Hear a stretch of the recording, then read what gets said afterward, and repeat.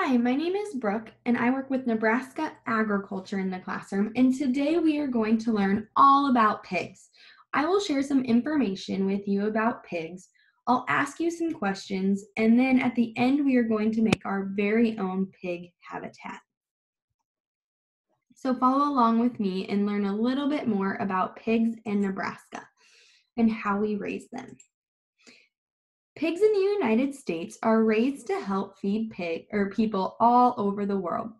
They provide us with things like pulled pork sandwiches, pepperoni, bacon, ham, pork chops, pork ribs.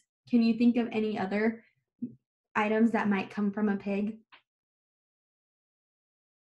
Maybe even sausage or pork hot dogs. A pig grows from 2 pounds to 250 pounds to serve people as a source of food. The way they grow has a lot to do with the habitat they live in. Habitats have changed over time. Pig habitats have always changed as pigs were found many years ago. Fossil records show pigs were roaming the earth as early as 40 million years ago. It's said that the first pig set hoof in North American soils when Christopher Columbus had eight pigs with him in 1493. Do you think farmers raised pigs the same way in history as they do now? No. In 1493, the pigs roamed wild and they ate whatever they could find. They often got sick and no one knew how to make them feel better. Pig farmers have changed pig habitats over time to provide better care for their pigs. What do you think? Where do pigs live?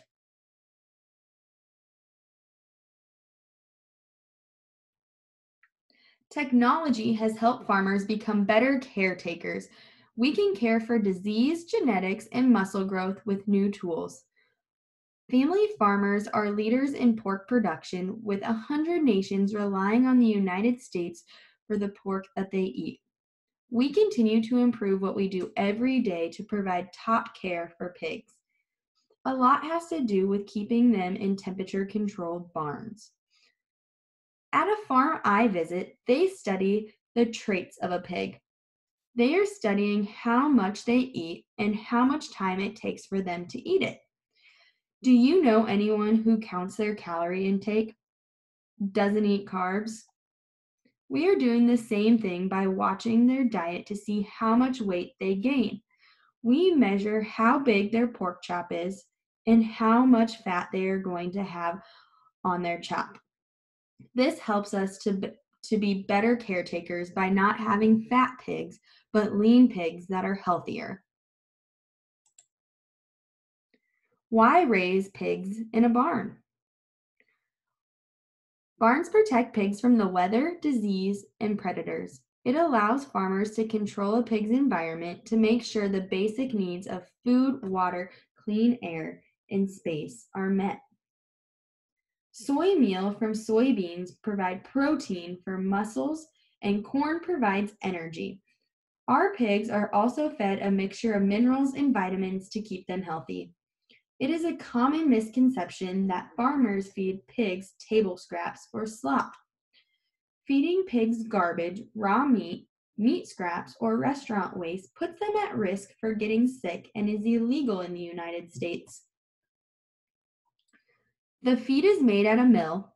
A delivery driver hauls it to our farm on a truck and puts the unique feed in each bin and we use an auger to get it from the outside of the bin to the inside feeders for the pigs. Each pig has a unique diet, and at our farm, the pigs will eat seven different diets throughout their lifetime. The pigs can eat as much as they want whenever they want. It is important the pigs have clean, fresh drinking water. We have waters that they can walk up to at any time so they can drink as often as needed. The barn also has a great ventilation system. There are fans throughout the barn. They have to make sure the blades are clean, the thermostat works, and that there are no damage or rust on the fans. Each pen or home for the pigs has a certain number of spots available. Just like your classrooms can only hold so many students, we can only fill each pen with a certain number of pigs. This makes them comfortable and ensures they have the best environment to grow big and healthy.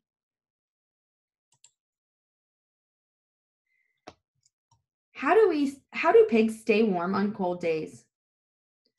How do pigs stay cool on hot days?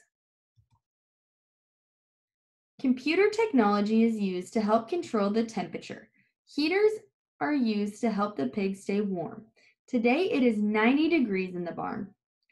We use fans and misters to help them stay cool in the summer. The barn also protects the pigs from outside heat because pigs can get sunburnt. Providing shade for pigs is an important part of keeping them healthy and safe. How do pigs stay healthy? How do pigs stay safe from predators? Who takes care of the pigs every day? On this farm, you will see a sign as you pull up that says stop. This is a biosecure facility and area. That means there are special precautionary actions that farmers must take in order to enter their barns. So you can see this lady has to remove her shoes and she says she sees this sign that says no shower, no entry. We keep germs from spreading by showering into the barn. By doing this, we make sure we aren't bringing in any diseases that they could catch that could make them sick. We also wash the barn with hot water after the pigs leave. We use a cleaner to help sterilize the barn as well.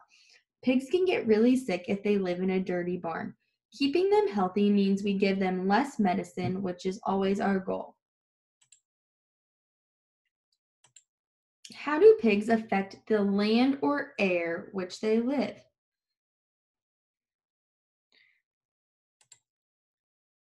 First, grain crops like corn and soybeans are grown in fields.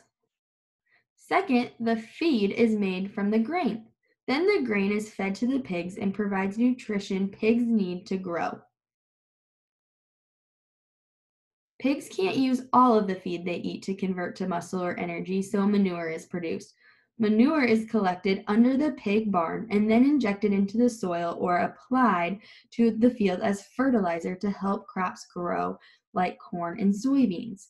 This cycle repeats itself every day. Taking care of the environment is a priority for pig farmers. The land is the farmer's livelihood and protecting the pig and protecting it takes care of the pigs, people, and the planet. Pig habitats have changed over time due to technology advancements. A pig's habitat includes adequate food, water, shelter, or cover, and space.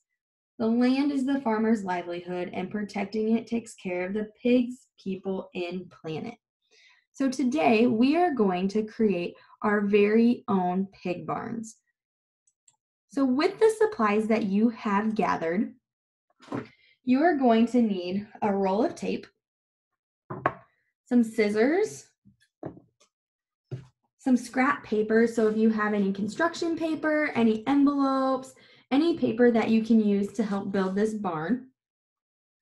If you have any plastic straws or anything like that, anything that you could really use, pipe cleaners, other things that you could use to help assemble your barn. Your barn has some requirements. It has to have a roof to protect the pigs from the environment so that we can control the temperature and protect the pigs from getting sunburnt or bringing any diseases into those barns. And it has to be enclosed on all sides. So we need an enclosed barn, a roof, and a door because a farmer has to be able to get into the barn to check on its pigs. This is a sample of what my barn looks like. It has four sides to it and a roof and my door.